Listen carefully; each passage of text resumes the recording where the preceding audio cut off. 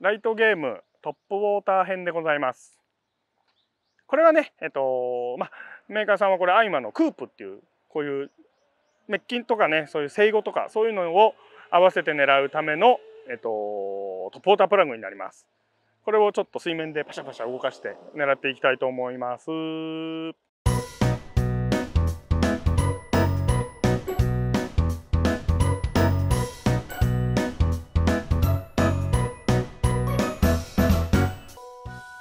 と動きをまず見ましょうか。ちょっとこの辺投げてみますね。フクルワーです。トップウォータープラグ。そして、こう、竿先をちょんちょんちょんとしながら、こう首を振ってくれます。ドッグウォークとか言いますよね。この動きうんと好きなんですよ。フィッシュイーター。これに下から餌だと思って、魚がバシャッと食ってきます。こういうね、あの風が吹いてザバンザバンしてる時はね、こう見つけづらいんで、今日みたいにこうのぺーっとしてるような水面が穏やかな時なんかはまた特に効果的です。行ってみましょう。ちょっとねあのドッグウォークね慣れるっていうか動かせるようになるまでねちょっとコツがいりますけどちっちゃいルアーなんでねこれはね見えるんで釣れるとすごいエキサイティングです。バショッと出るのであとねいろんな動かし方あります。ただねこうリールだけでクリクリって巻いてこうカポカポ。カポカポ。ねルアーの動かし方。おあ追ってる。なんか追ってるよ。なんか追ってるよ。おおいるじゃない。興味を示した魚いました。やっぱ水面でライズしてるような魚はやっぱ興味示しますね。本当にね他のルアーで全然釣れなくてトップに変えた瞬間にすごく釣れたりとかねそういうこともありえます。トップイコール釣るの難しいっていう感じがよく思われがちなんですがのしっかりね動かしてタイミングさえ合えばすごい釣れるルアーです。ほんで本当にねバシャーンって出ます。まあ黒鯛とかねそういう魚はカポッカポッとかっていうそういう出方もしますけどね生後とかそういうスズキの仲間なんかバカーンって出ることが多いです。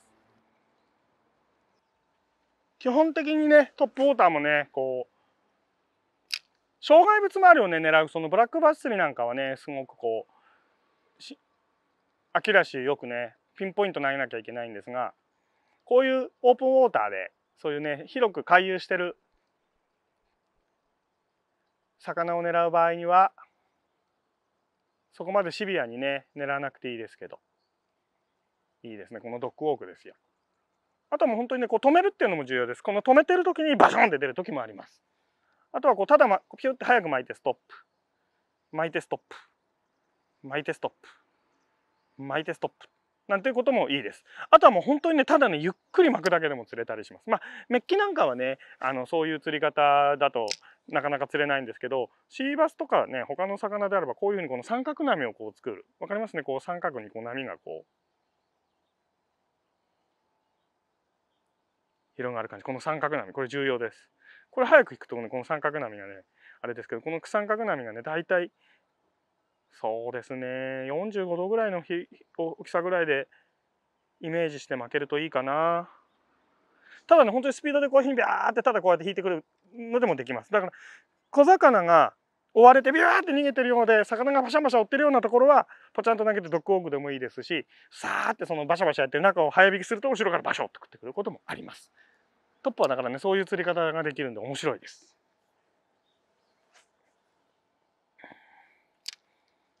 テンポよくいきましょう。このねドッグウォークちょっとだけちょっとだけ練習がいります。これねなかなかただこうちょんちょんちょんちょんするだけじゃ動かないんですけどこうタイミングよくこう分かりますかね？こういう感じ。これただ巻くだけでこの動き出ないんですけど少し練習してください。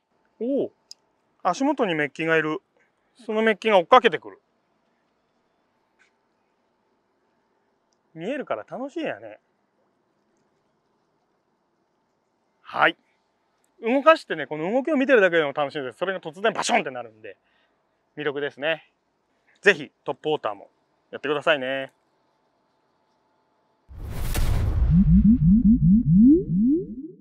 移動してみましょう。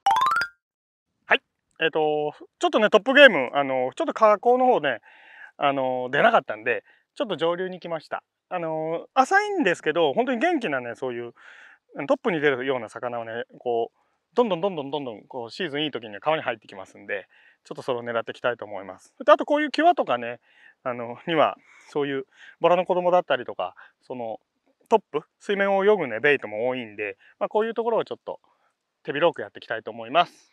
はい。釣れるかな？どうかな？入っててくれればいいな。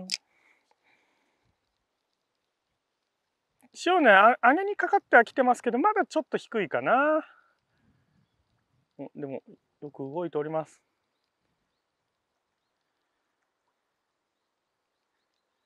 もうちょっと上げてくると元気よく食ってくれるかも。でもそれよりも増して元気な子がいることを願ってキャストを続ける。でもアピールがいい本当に1等2等です。それで出なければもう立ち位置を変える。それが得策です。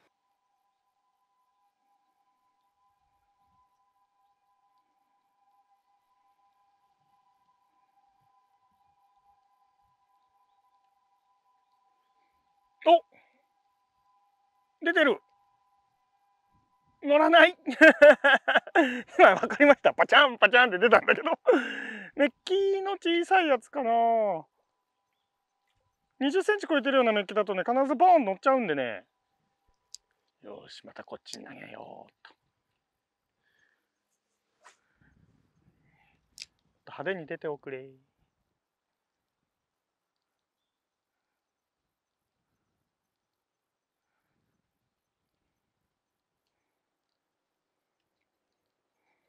すごいよ。あの河口があっちなのに川逆流してる。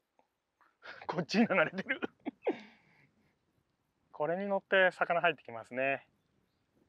すごい。やっぱ干潮満潮の力ってすごいな。おおおしょ出たやったー。いやありました出た可愛いけど元気だわ。やっぱトップ釣れたよ。パチャンと落としましたね。パチャンってね。イエーイ。ああ、外れちゃった。けど、釣れたよ。すごい。ギュギュ言ってる、ギュギュ言ってる。ローニンちゃん。トップでした。これね。ペンシルポッパーってタイプですね。ありがとう。